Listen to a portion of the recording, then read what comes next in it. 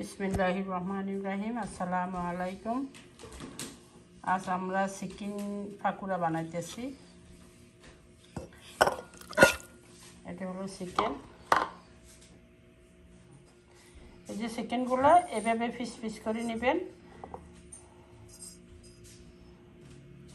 এখন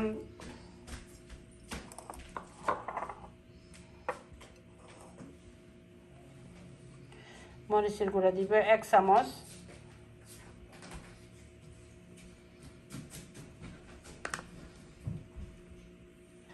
এটা হলো রাঁধুনি মাংসের মা মশলা, এক চামচ।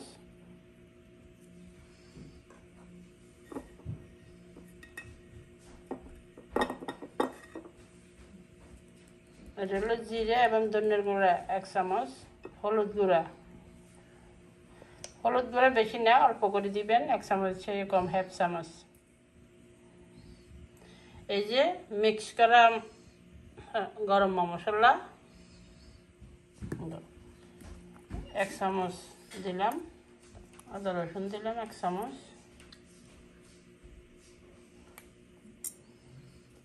লেমন জুস দুই চামচ দিলাম। এই যে এই লেমন জুসগুলো ইউজ করছি আমি।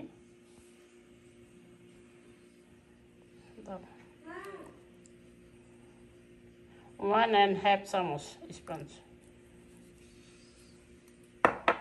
লবণ দিলাম স্বাদ মতে। লাগলে আপনারা লবণের টেস্ট বুঝে আবার দিবেন।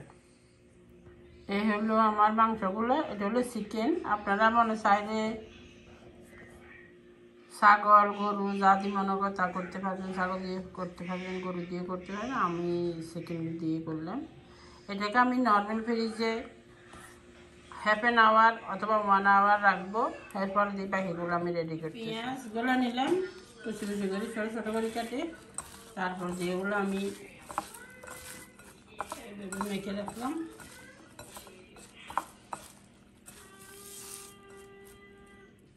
আমি হাফ অ্যান আওয়ার পর এগুলো বাইর করলাম, বাইর করে এগুলো ধন্যা পাতা দিলাম।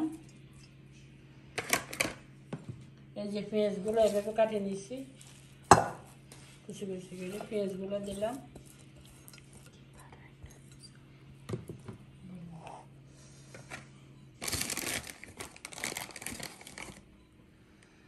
পাউডার এগুলো হলো কর্ন পাউডার এটার এক চামচ দিলে হবে, পরিমাণ মতো আপনি লাগলে আবার দিবেন।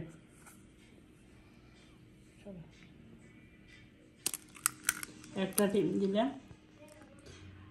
যদি আপনি জাল পছন্দ করেন, তাহলে ব্ল্যাক পেপার দিবেন। হ্যাঁ পেঁয়াজ, সবগুলো মিলে উঠে হবে। তারপর দিয়ে দিবেন তাহলে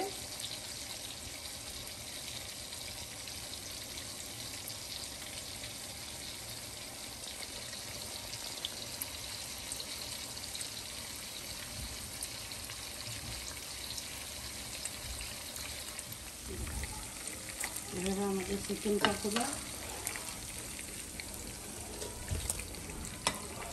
আমাদের চিকেন কাবাব এখন একটা, আমি একটা ভাঙ্গিয়ে দেখাচ্ছি আপনাদেরকে, ভিতরে কেমন হয়েছে, এই দেখেন।